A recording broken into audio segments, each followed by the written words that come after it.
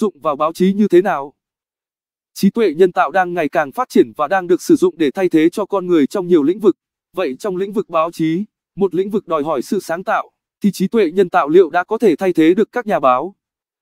Dưới đây là những cách thức mà trí tuệ nhân tạo đang được áp dụng trong lĩnh vực báo chí, không hoàn toàn thay thế con người trong việc tạo ra các bài viết, nhưng trí tuệ nhân tạo cũng đã giúp ích rất nhiều cho các nhà báo và mang lại cho các độc giả những trải nghiệm mới mẻ hơn. Tờ báo The New York Times sử dụng trí tuệ nhân tạo để khám phá nội dung, quản lý bình luận của độc giả.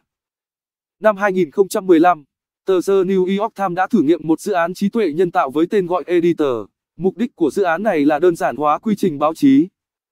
Khi viết một bài báo, các nhà báo có thể sử dụng các thẻ, tag để làm nổi bật các cụm từ, tiêu đề hoặc các điểm chính trong bài báo.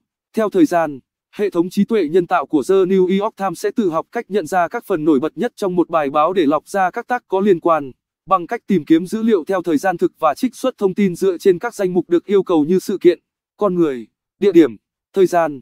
Hệ thống trí tuệ nhân tạo có thể giúp cho người đọc tiếp cận các thông tin được dễ dàng hơn, kiểm tra các thông tin có liên quan trên bài báo được nhanh chóng hơn.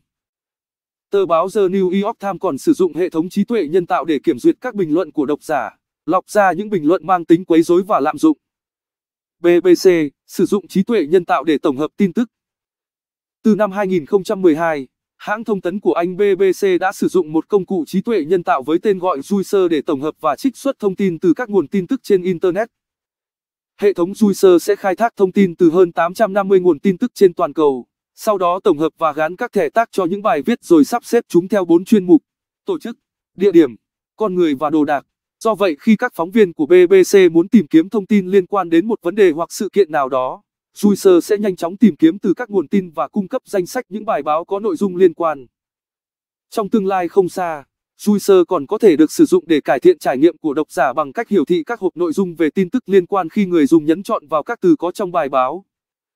The Washington Post sử dụng trí tuệ nhân tạo để viết báo và lọc bình luận. Tờ The Washington Post đã sử dụng phần mềm trí tuệ nhân tạo với tên gọi Heliograph để tạo ra các tin tức tự động.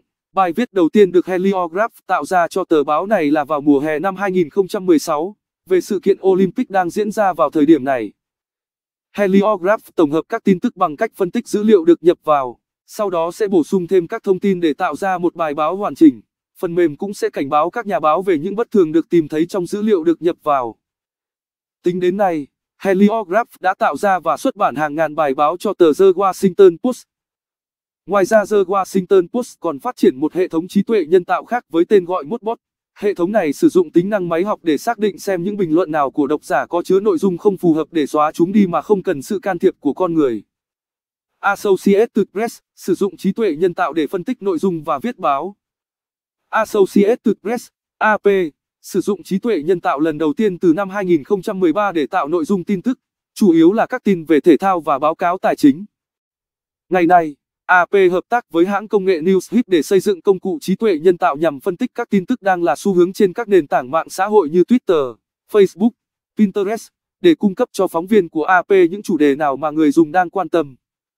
AP cũng đã hợp tác với Automated Insights, một hãng công nghệ có trụ sở tại Mỹ, chuyên về phần mềm tạo ngôn ngữ tự nhiên, biến dữ liệu lớn thành các bài viết dễ đọc. AP đã sử dụng công cụ với tên gọi Goldsmith do Automated Insights phát triển để tự động tạo ra các bài viết từ những dữ liệu nguyên bản được nhập vào. Tân Hoa xã sử dụng MC trí tuệ nhân tạo để dẫn chương trình. Cơ quan truyền thông nhà nước Trung Quốc Tân Hoa xã đã xây dựng người dẫn chương trình bằng trí tuệ nhân tạo, có thể nói, di chuyển và hành động như một người dẫn bản tin thực sự. Tân Hoa xã đã hợp tác với công ty công cụ tìm kiếm Sogu.com để phát triển MC trí tuệ nhân tạo này. Người dẫn với trí tuệ nhân tạo được tạo dựng thành mô hình kỹ thuật số dựa trên hình ảnh của một phát thanh viên thật, rồi sử dụng kỹ xảo máy tính để hoạt họa khẩu hình, biểu cảm khuôn mặt như người thật. Tân Hoa xã sử dụng các video phát thanh truyền hình trực tiếp vào một thuật toán để dạy cho AI nói theo. Chuyển động của người dẫn bản tin này dường như rất linh hoạt, sống động và trực quan. Tân Hoa xã cho biết MC trí tuệ nhân tạo này có thể làm việc 24 giờ một ngày, giúp giảm chi phí sản xuất tin tức và nâng cao hiệu quả. Báo điện tử Dân trí tiên phong ứng dụng trí tuệ nhân tạo để phát triển báo nói. Báo điện tử Dân trí là một trong những tờ báo đầu tiên tại Việt Nam triển khai và ứng dụng trí tuệ nhân tạo để phát triển nội dung. Báo điện tử Dân trí vừa tiên phong tích hợp thêm phiên bản báo nói, cho phép các độc giả có thể nghe nội dung của các bài viết thay vì phải đọc chữ như trước đây. Để phù hợp với sở thích và vùng miền mình đang sinh sống, độc giả có thể tùy chọn giọng đọc là nam hoặc nữ, giọng nói miền Nam hoặc miền Bắc, giúp nghe rõ và chính xác hơn về nội dung của bài báo. Phiên bản báo nói của dân trí ứng dụng công nghệ trí tuệ nhân tạo hiện đại do Trung tâm Không gian mạng Việt Ten, VTCC, xây dựng và phát triển. Các kỹ sư nhóm xử lý tiếng nói của VTCC đã sử dụng công nghệ học sâu, Deep Learning, tiên tiến thay vì áp dụng các kỹ thuật truyền thống như HMM, Hidden Markov Model, hay ghép nối các từ, giúp cho giọng đọc tự nhiên, liền mạch, ngắt nghỉ, kết hợp với biểu cảm chính xác. Việc phát triển công cụ báo nói giúp tăng trải nghiệm cho độc giả, để có thể vừa thư giãn vừa nghe nội dung của bài báo, thay vì phải tập trung vào màn hình như trước đây. Tê Thùy